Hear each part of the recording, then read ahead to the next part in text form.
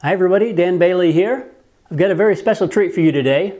I'm going to give you one of the lessons from my Photography on the Brain course for free. Photography on the Brain is my exclusive video course that's designed to challenge you to think about creativity and photography in a whole new way and inspire you to try using some new approaches to your own image making. The full course is 30 lessons over 5 hours of content, and it's a similar format to what you see here on the YouTube channel, but where most of these lessons are tips based here, with Photography on the Brain we dive deeper and explore photography and creativity on a much more cerebral level. And in the process, I help you expand on your own personal and creative approach to photography so that you can become the most confident, creative, authentic artist with the camera that you can be. You can find a link to the course in the description below, and you can take advantage of a very special offer I've got for you guys for supporting me on the YouTube channel here. You can get the entire 30 lesson bundle for 50% off for a limited time. So enjoy this lesson and happy shooting.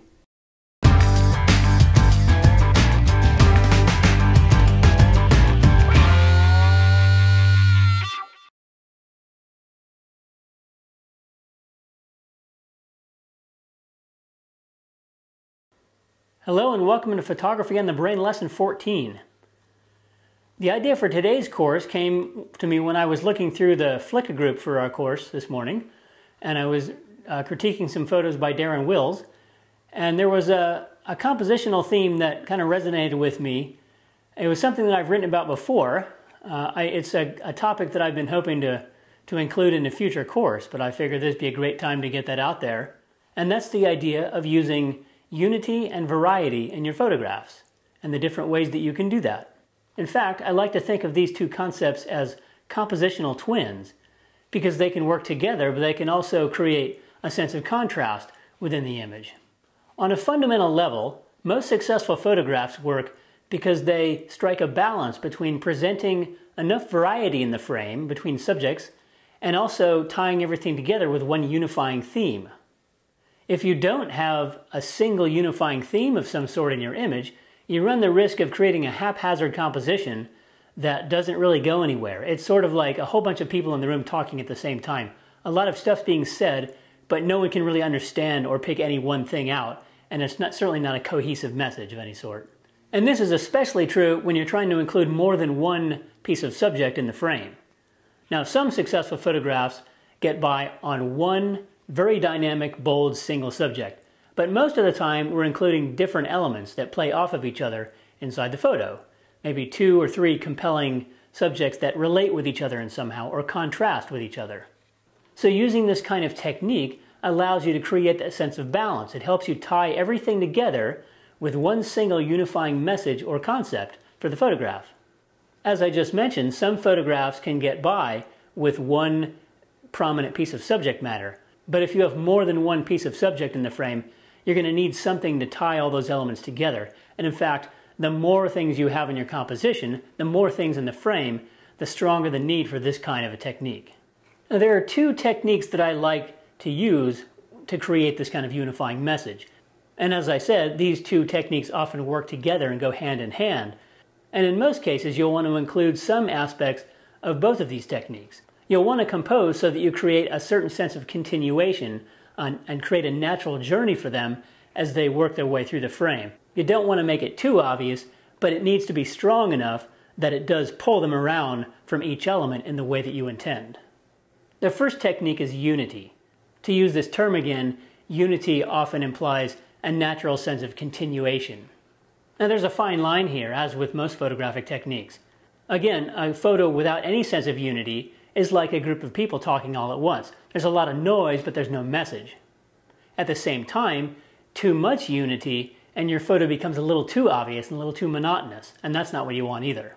The second technique is variety, and this represents a diversity of subjects that all fall within the same class or family or style. Now, the easy way to say it is same but different. You know, you could have a similar theme, but different sizes, different shapes, different uh, colors, it's essentially repetition and similarity without the monotony. Including more variety in your image can often make it more interesting. But again, that's where you need to think back to the concept of unity. Because too much variety without that sense of unity means that your photo won't carry the intended message. Usually, using more variety in your photo makes for a more interesting composition, but use too much variety without that sense of unity, and then you run the risk of, of again, making a haphazard photo where nothing holds together, nothing ties together within the frame. So to put this another way, variety is what makes the unity more interesting, and the unity is what ties the variety together. So let's explore some of the ways that you can use these two techniques in your photography.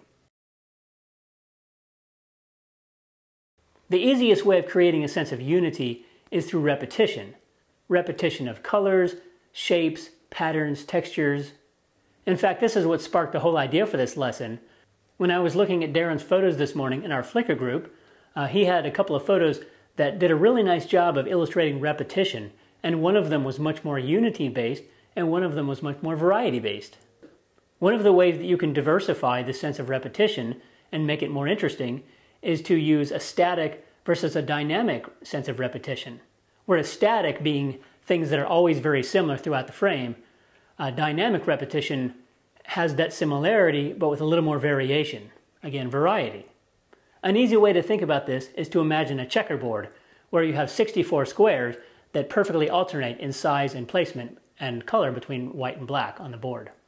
This would be a perfect example of static repetition, but if you changed up some of the squares to make them bigger and farther apart, or alternated colors differently, that would be a more dynamic repetition.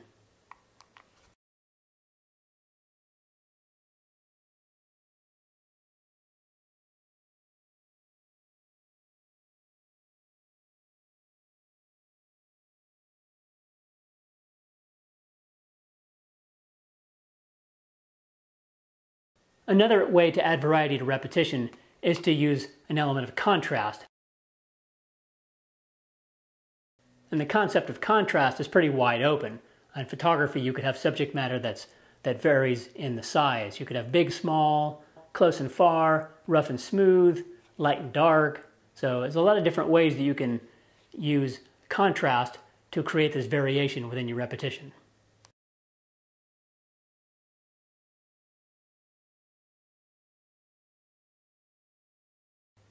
Another way to create this sense of variety through repetition is to emphasize certain subjects over others.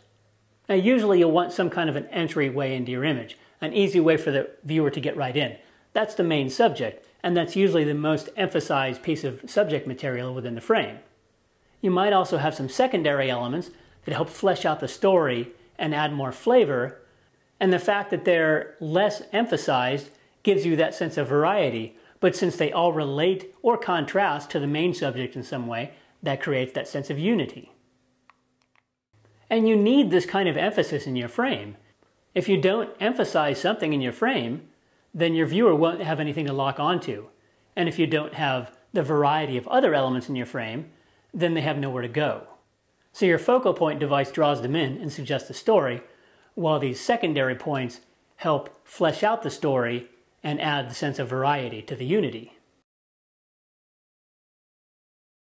Another technique is to use the concept of scale and proportion.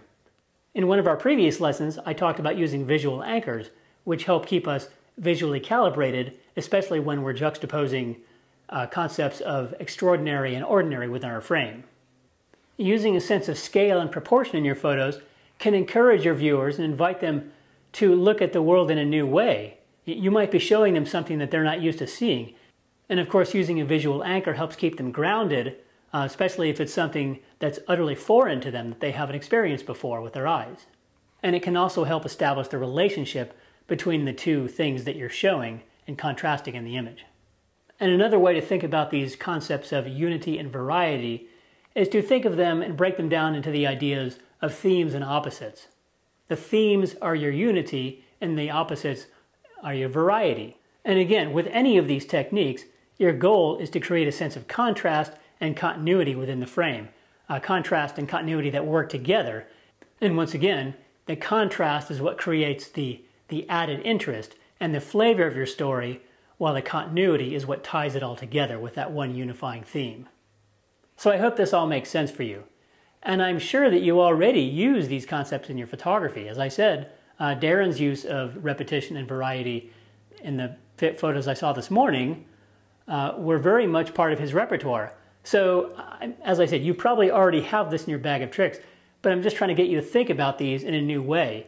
And maybe this can help you look at scenes uh, and find new ways of including this kinds of repetition and contrast and continuity within your own work. So your assignment this month is to play around with these concepts of unity and variety and see what you can come up with. And if you're in the Flickr group, I'll be really excited to see your examples, as I was excited to see Darren's work. It's really fun to see your work and hear your insight in the group, and that's exactly what the purpose of the group is for, and I'm, I'm glad that you guys are taking part. If you're not in the group, uh, feel free to tag me on social media, or maybe you just send me an email sometime and just show me what you've come up with. I'd love to see how these lessons are resonating with you uh, throughout the months. On a personal level, I enjoyed putting out this lesson uh, because it gets back to kind of the fundamental bread and butter of cerebral photography techniques. In the last couple lessons, I talked a little bit more about the mindset of shooting. And so uh, I like to mix things up. And so I hope you really enjoyed this lesson. And I want to thank you for sticking with me uh, through 14 lessons so far. And I'm really excited to have the continued support from you guys.